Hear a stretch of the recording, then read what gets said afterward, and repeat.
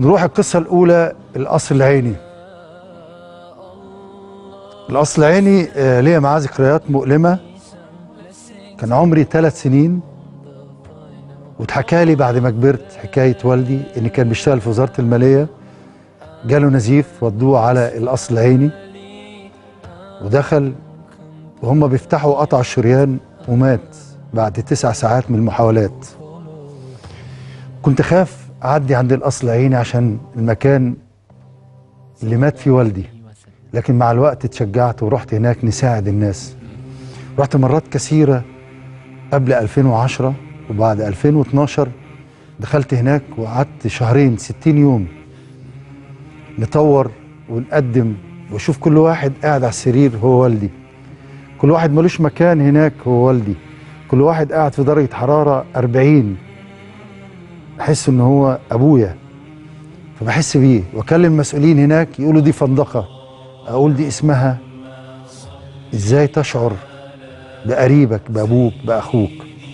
أقدم لكم صور سريعة قبل وبعد لما دخلنا الأصل عيني من سنوات عشان نتكلم على الكلمة الطيبة اللي أصلها في الأرض فرعها في السماء. الأصل عيني. واكمل معاكم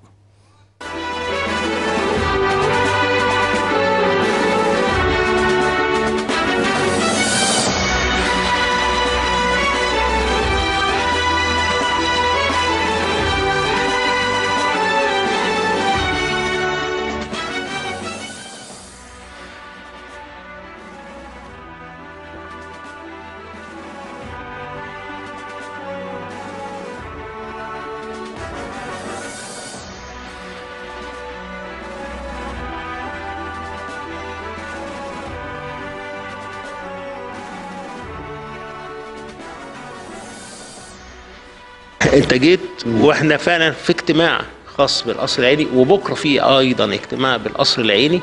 آه، كل ملف من ملفات الحقيقة آه، زي ما انت شايف إن في تحديات كتيرة وإن في مشاكل جبال من المشاكل ولكن في آه، توكل على الله وإرادة قوية جدا إن إحنا بإذن الله داخلين في كل هذه المشاكل وإن اللي نقدر نوعده إن كل يوم في شمعة هننورها وإن في حاجة هتتقدم. الصورة من فضلكم خلوها ورايا. أثناء آه، دخولنا في الأصل عيني في هذا الوقت في 2012 2013 مع برنامج كلام من ذهب اكتشفنا في مبنى مهمل. مبنى ثمنه في الوقت ده 500 مليون جنيه. بناه بنك مصر وكان عنده مشاكل إدارية. المبنى دوت صورناه من جوه ومن بره خلسة لأنه كان مم- ممنوع إن إحنا نصور ده في الوقت ده كأنه سر عسكري. وكلمت المسؤولين من رئيس الجمهورية حتى رئيس الوزراء شفتوا آه، لقائه في الوقت ده المهندس إبراهيم محلب. وكان اللقاء يوم 2 رمضان اللقاء اللي حضراتكم شفتوه. ده المبنى كان مقفول كان مغلق كان كان آه، في أجهزة طبية ثمنها دلوقتي تعدي 2 مليار. وقلنا إزاي ده ما يتفتحش؟ لكن بعون ربنا وده دورنا وده توفيق ربنا فتحنا ده في ليلة القدر في هذا العام مع رئيس الوزراء في ذلك الوقت. بنقدم الصورة ما أعرفش لو موجودة عندنا هنقدم قبل وبعد ما أعرفش صورة الافتتاح موجودة ولا لأ.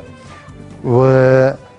وأتمنى أنا كنت بكلم الدكتور فتحي خضير عميد طب الأصل العيني عشان نتكلم على إن في الوقت ده بنشوف حملات إعلانية كثيرة ولكن هذا المكان اللي بيعالج الآلاف كل يوم آه نهارا وليلا.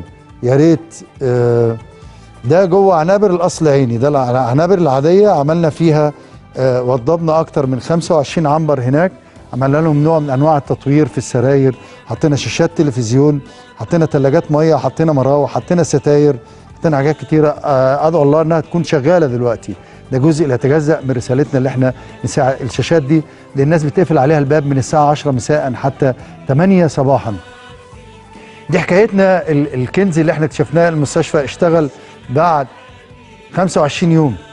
والمهندس إبراهيم محلب اللي بقدم له كل التحية بتعليمات من رئيس الجمهورية في ذلك الوقت حل كل المشاكل إدارية وفنية واشتغل مبنى الطوارئ المستشفى اللي كانت مقفولة مستشفى الطوارئ اللي ربنا أكرمنا اللي إحنا رحنا اكتشفناها بالصدفة وصورناها خلسه وطلعت للنور. أرجو اللي أنتوا تنضموا إلينا نساعد الأصل عيني سواء المبنى العادي أو مستشفى الطوارئ دي. آلاف مؤلفة أول ما حد لا قدر الله بتحصل له حادثة ودي على الأصل عيني هذا المكان جنب أماكن كثيرة نرجو آه، إن يحصل فيها دعم.